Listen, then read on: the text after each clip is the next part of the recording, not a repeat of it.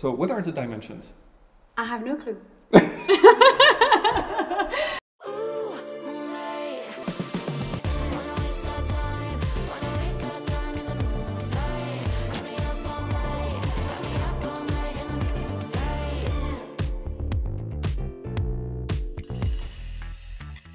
Hello, my name is Emma and I'm so happy to be in the first online tutorial with the Tarkett Academy. We're here today to renovate my bedroom and Ben, he's going to help me to install a vinyl floor.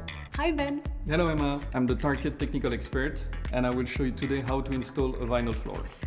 Okay, let's do it. I'm so excited, but I must say I am not a DIY expert at all. Don't worry, we will go step by step and you will see it's not so hard. Today we are going to need safety gloves, a cork press, measuring tape, pencil, blades and knives, vinyl cutter and finally a 2 meter metal ruler. Okay, so we have everything now. I guess we can start. Let's go! Okay, so first we have to swipe the floor to remove the dust. You can also use a vacuum cleaner if you want. Okay, so now our subfloor is clean. We will now control that is flat enough for our installation. So for that, we will use a steel ruler, a 2 meter long. We'll place it on the subfloor and we will check that there is no gap underneath. But like, let's say it's not flat. What should I do?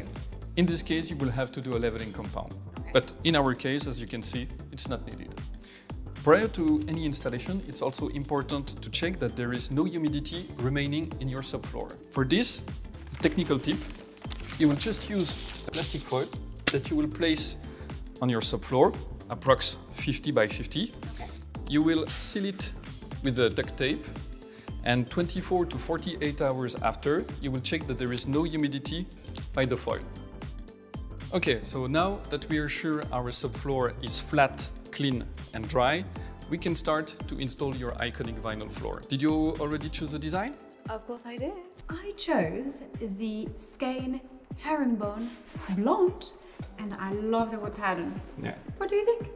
Very nice design. And it's a pretty good choice because the herringbone pattern will make your room look much bigger. Exactly. Okay, so now the roll is in your bedroom, but before starting, did you acclimatize the product? I did, yes. I left it in my living room for like 24 hours, as the salesman told me. But like, why is this important? In fact, it's to have a softer material. You will see it's much easier to install like this. Okay, great. So I presume that to order the material, you have measured the size of your room. Of course I did. So it's 280 by 4. Okay, nice. So as you have a cut of 3 meter large, we will have 10 centimeter on each side to adjust it and to adapt in case of mistake. Wonderful. Good, so let's unroll it. Yay!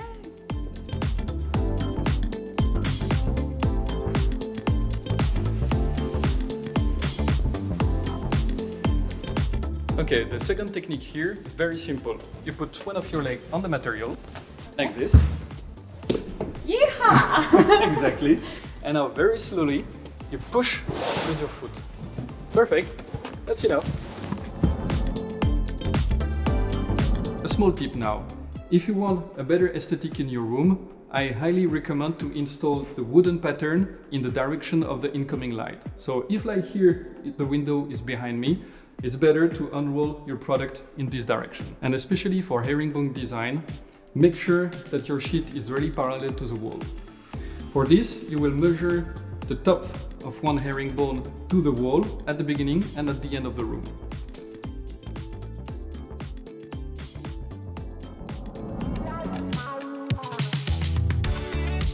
so what do I do with the corners now? So once again, quite easy. We will use the cork press to press the material to the wall Okay. and then we will cut in each corner to release the material. Like this? Yep. Fine, so now we will prepare the outside corner. You will bend the material. I will draw a line and you will just have to cut along it, right? Sounds good. Okay, let's go. Oh, Before, please use your safety gloves. Oh, safety first. Okay.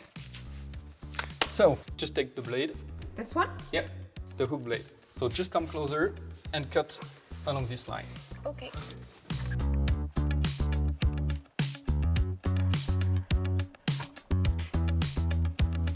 Well done, Emma. That's a very nice cut. So look now. Just when you place back the flooring, we will be able to make the inside corner. You will have to reproduce it here. Okay. So once again, you bend the material here, you push it into the corner, use the hook blade, Okay. and at 45 degree, you cut. You move it back in the same direction. Okay. And it fits into the corner. Well done, Ben. Thank you. now, it's your turn. Prepare the material, bend it, and make the 45 degree cut.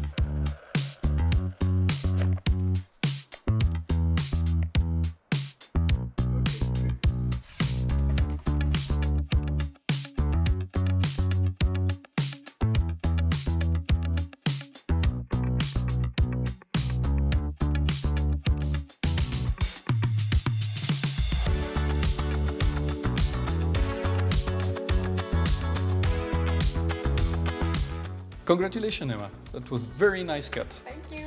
As we have done now all the corners, we can start to trim along the wall. I'm so ready. For that, you will use a special tool. It's called a vinyl cutter. I saw it. I never saw that in my entire life. You will see it's far much easier than using a knife. So we will just start from this corner and we'll show you how to start, press, mm-hmm. and you will just push it all along the wall. Sounds good.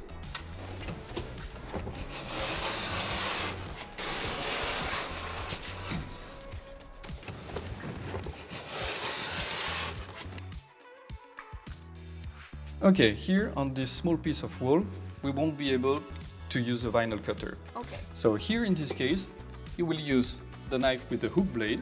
You will just place it like this in your hand, press it with your finger. You will go inside the corner and just cut it.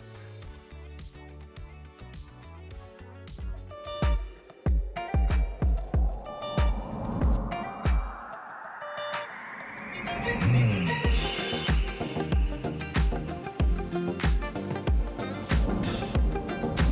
So, are we done or is there any glue or tape to add to it?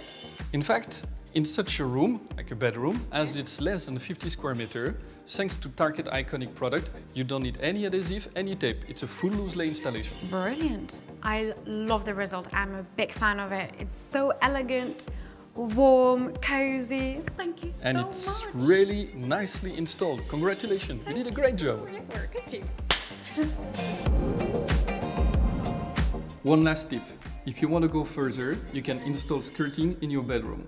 And you can check out our tutorials with the Tarkett Academy just right here.